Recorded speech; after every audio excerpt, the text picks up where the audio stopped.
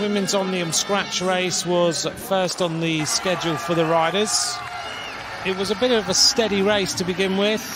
Heading to the front, it was Jennifer Valente as she made her way to try and secure the maximum points in the scratch race, which she did. In second place was uh, Clara Copponi of France. So job number one done by Jennifer Valente.